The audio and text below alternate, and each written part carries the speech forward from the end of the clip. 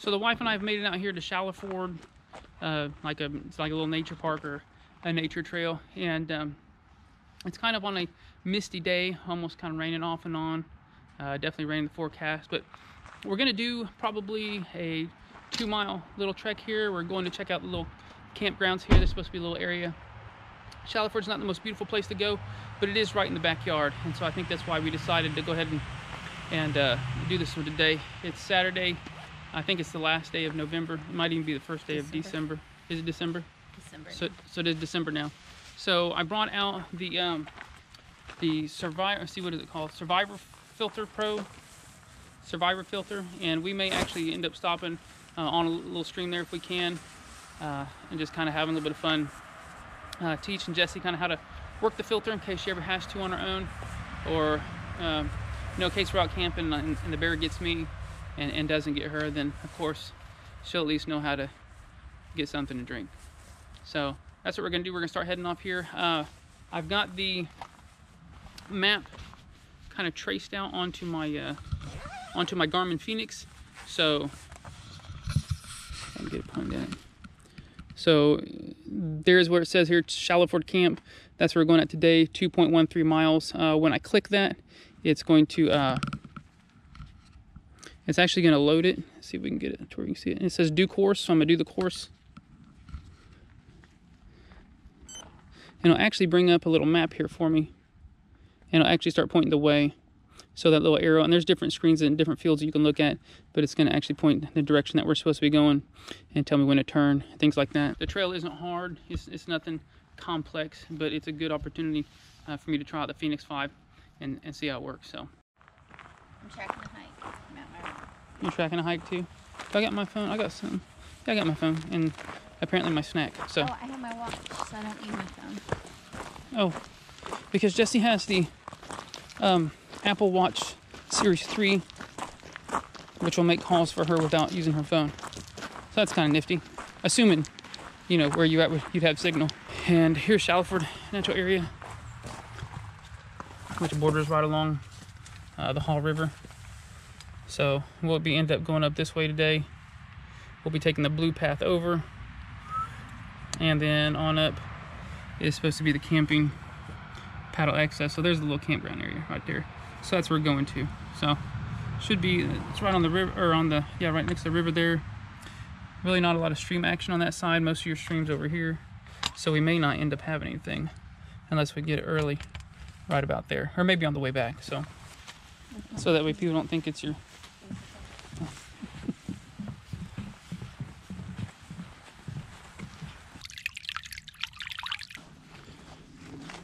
So maybe as you can see as we're walking here on the Fenix, it's actually tracing our trail in purple. I think that's the color. And uh, so it's kind of telling us which direction to turn. Now, you actually really don't need that on this trail. It's, easily marked.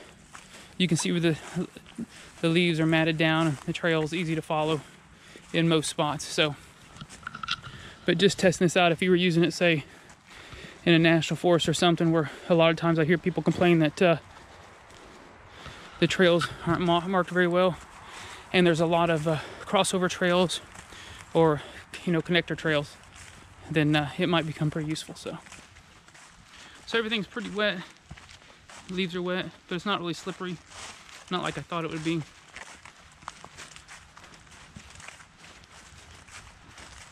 I think there's always a reason not to come out hiking and uh, even today would have been for most people you know a perfectly good reason to not come out and do a hike but uh, if we waited for conditions to be perfect we'd never go. So and when you're you know a parent and you've got several kids and some who are on activities and others that are sick and stuff when you get the opportunity you kind of got to take it. Wouldn't you agree? Oh yeah. oh yeah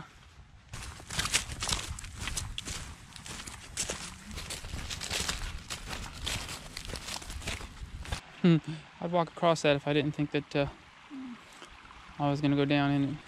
We got a nifty old bridge. Oh look, man, the tree went down on that one. Look at that.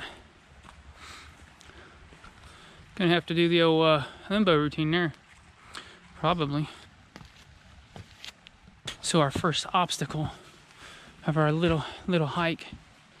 And uh, is that did that piece break off and fall into the water right there? It did, yep.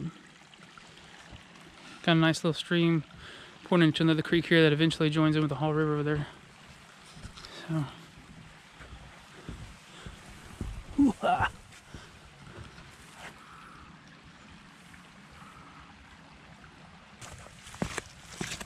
We're gonna do a circle, so I think we're gonna go. You notice the red part right there tells me that's the way I'm coming back, and the little blue guy is me. So we're gonna end up going here off here to the right. So apparently I misread my watch and we were off course a little bit because it was pointing me backwards this way. So we're gonna head back up here to where it splits off and go the other direction. I have no idea where Jessie is. I done done lost her. She's fast. Oh well. Ah! Good thing we're adults. Oh look. Yep, there's not a not a nice good trail out there without one of those in it. Whoever in Abby and HHR HH is. Mm-hmm. Yeah, we hope you guys are still kicking.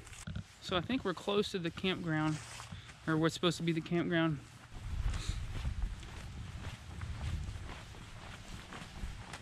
Yeah, here's the hall that we know. Yeah, sure. There's a little sign back here. It said camping area three. So apparently there's three. Smart, I know. So we come up here and they actually have a tree down, but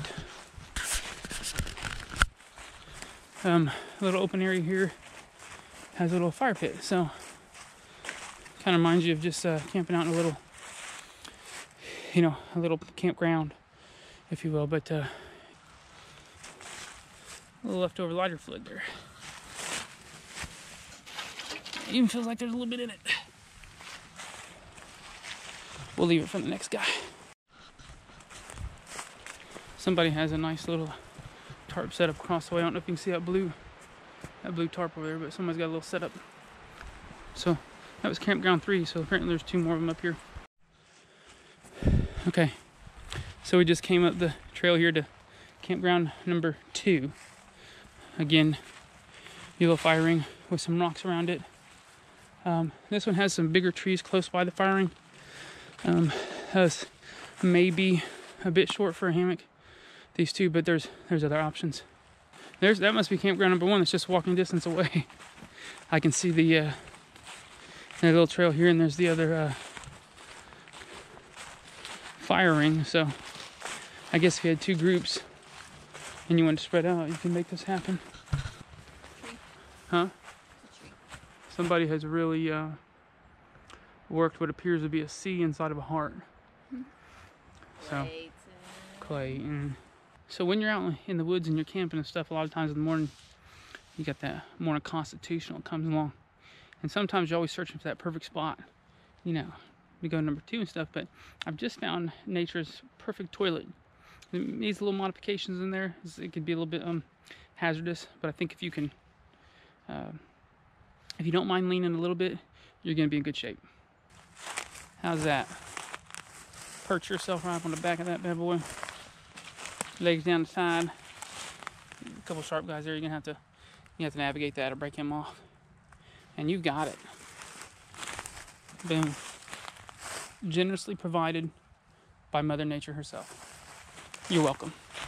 If nature's perfect toilet doesn't work and you're feeling, you know, brave, there you go.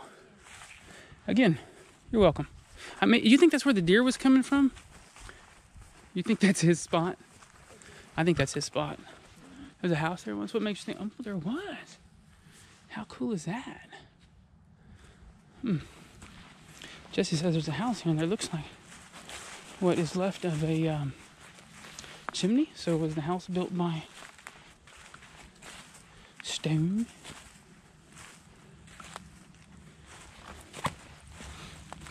because after walking over all this stuff, oh, no, that's. You ever seen the movie The Ring?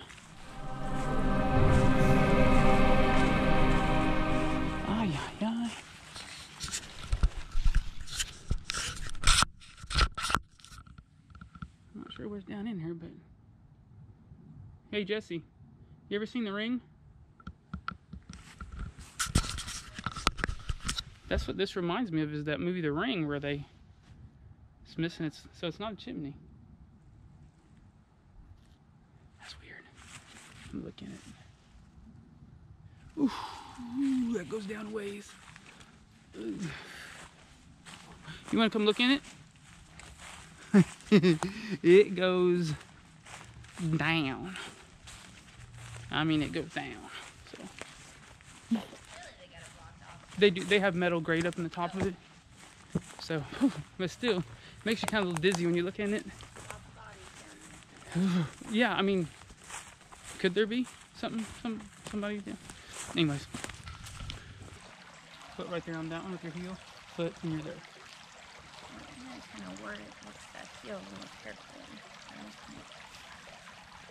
See your left foot heel. Oh, that one. Yeah, that works. Yeah, there you go. Easy peasy.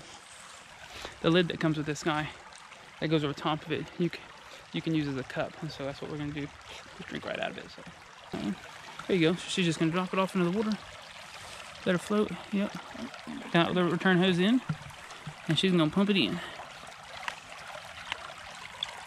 And just make sure your bottom part ain't pinched up, and you'll be all right. There you go. See what you think. Tastes like water. Has some sweet taste to it. Look clean, don't it?